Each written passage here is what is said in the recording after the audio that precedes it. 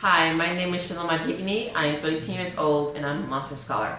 MEF selects four sixth graders each year from the roughest neighborhoods of Chicago who will make the biggest impact. Each Monster Scholar has to do an individual service project every year. My team's project is to take $400 and help the homeless children at Good News Partners in Rogers Park. Homeless kids may feel like they don't have anywhere to belong. As a result, they don't take school seriously because they see no reason to. My team wants to make their pride their motivation through our More Than Just a Backpack project.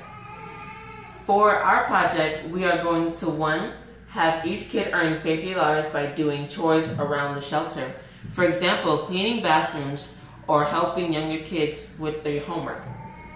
Two, with this $50, we will take them to Target to go shop for their backpacks and school supplies in July when school supplies are cheap. Three, we will then give the director at Good News Partners a pile of 10 or $20 gift cards to give the kids for their good grades. We know that kids are different, so we are going to start our fourth Good Grades Incentive Program with our goal setting workshop so kids can set their goals for themselves. For example, if you are a C student, then your goal is to be a B student. If you are a B student, then go for an A. We can have more than scores and tests, a great tutoring company, to lead this seminar for our kids at Good News Partners.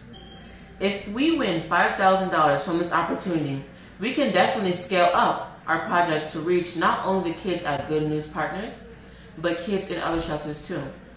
We hope that more than just a backpack will really help motivate kids to strive to do well in school despite their current situations.